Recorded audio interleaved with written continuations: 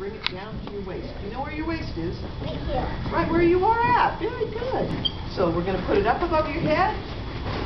All right. And we're going to go, wait, we're going to count to three. Right? Up above your head. We're going to go one, two, three. Ooh, do you feel that? Try it again. Up above your head. Ready? One, two, Feel the power of this? All right, let's do it again. Suppose if you put that on its side and have wind blow it and be powerful, would it move you? Right, okay, let's pretend it's windy. I don't even know what it's doing.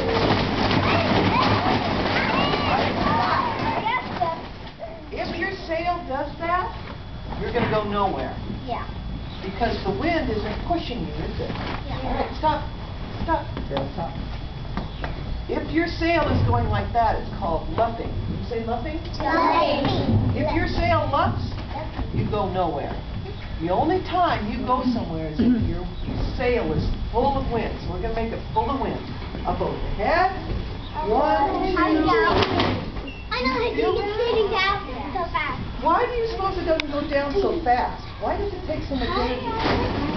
Because the wind is pushing What it push? up. Ah, very good.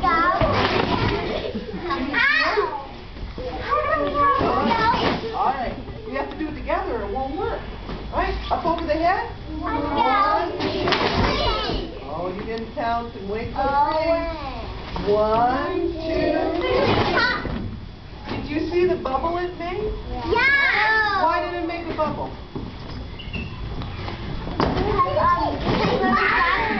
Hey,